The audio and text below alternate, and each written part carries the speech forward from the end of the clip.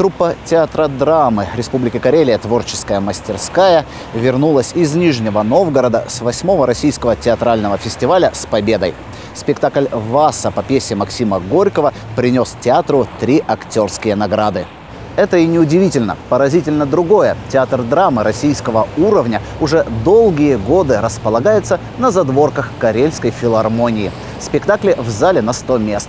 Даже вешалка у театра не своя. Театральный журналист Наталья Соколова, зритель со стажем, долгие годы наблюдает за труппой, и восхищение творческими удачами перемешано с досадой на неустроенность театра. Знаете, все успехи этого театра, они происходят не благодаря, а вопреки. То есть если зритель Петрозаводский тоже искушенный, ходит, смотрит, он понимает, что здесь тебя ничто не отвлечет от просмотра спектакля, от игры актеров и так далее, потому что здесь же ничего нет. Своей входной зоны у театра нет, буфетной зоны нет, по лестнице прошел, там непонятно, поднялся, зашел в маленький, тесный, там, душ, душный зал. Благо там когда-то появился наконец-таки кондиционер, до, до этого его не было.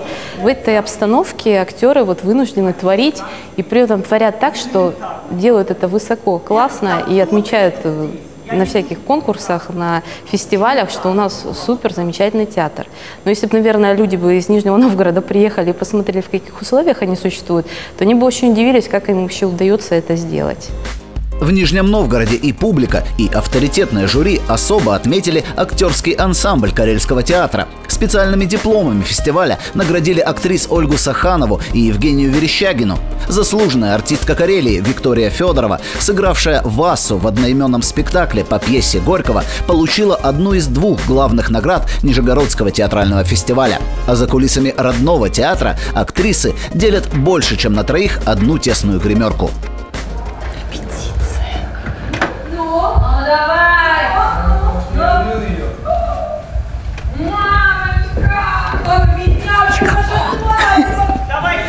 Хорошие условия для театра – это важно. Действительно, у нас не то чтобы э, можно много говорить о том, что нам мило, что нам тут хорошо, уютно, дружно. Это так. Но э, если посмотреть правде в глаза, то вы сами все видите что проблемы есть. Начиная с того, что у нас нет своего гардероба, да, что мы зрители, если филармония и наши зрители всегда перемешиваются, мы задерживаем чуточку спектакли, пока там вот это все разберутся совсем. Но хочется своего. Просто вот это особенная атмосфера, да, когда зритель приходит, и он понимает, что он не где-то а театр где-то там, что он еще там пройдет как-то.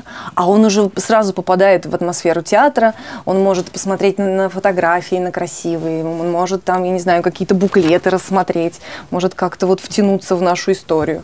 Это, конечно, было бы здорово.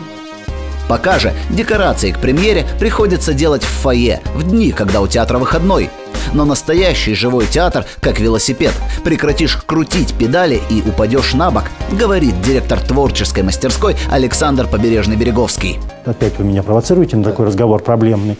А я стараюсь все-таки эти вещи уже, такие беседы вести в кабинетах, потому что на зрителя не хочется вываливать. Он и так придет в эти интерьеры, он и так должен будет подняться на третий этаж без лифта и решать для себя вопрос спускаться, да, те, у кого там не, не очень крепкое здоровье, стоит спускаться вниз в антракте, чтобы потом снова подниматься или уже сидеть в зале.